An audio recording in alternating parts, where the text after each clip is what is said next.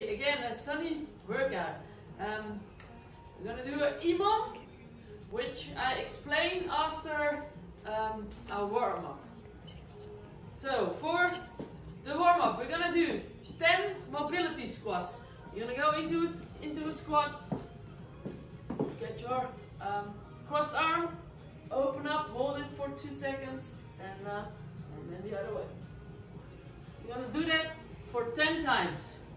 Then you're gonna go forward lunge, put your hands on the ground, open up, touch the elbow, open up, six times right, six times left. I'm gonna do that for four rounds.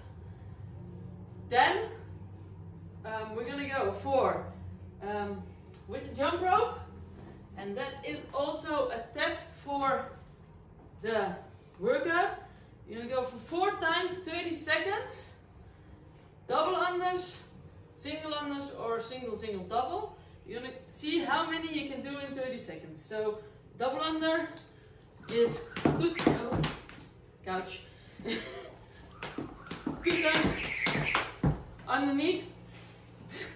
Single unders one time, or you're gonna go for single, single, double, single, single, double, and then count the double unders. So see how many you can do in 30 seconds.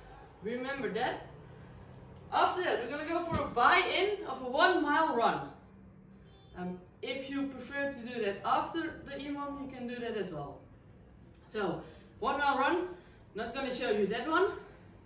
Uh, then, for the workout, um, it's gonna be an EMOM of 15 minutes. So, um, what we do is one, round one is the um, amount of double unders you picked, you're gonna um, do that every minute. So, for example, I picked 20 double unders.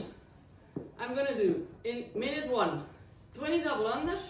After that, I'm gonna go for eight American kettlebell swings like this. Um, if your weight is too heavy, you can go for um, Russian. Eight of those. That's minute one. 20 double unders, eight kettlebell swings. Then, minute two. Again, 20 double unders. Then, six V-ups. Like that. Six of those. Then, minute three. 20 double unders and four kettlebell push press or strict press depending on the weight. So push press. Two left, two right. Minute four, you're gonna go again for 20 double unders and eight kettlebell swings. You go on like that. So for 15 minutes. In the subscription, I'll explain it as well. Um, and then after that, you can do some stretching again or if you didn't do your one mile run, you can do your one mile run after those 15 minutes. Okay, have fun and stay healthy. Bye bye.